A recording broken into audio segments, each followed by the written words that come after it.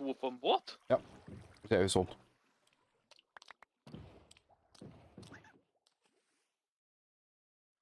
Jeg tar livet av Iron Goleman. Hva som skjer?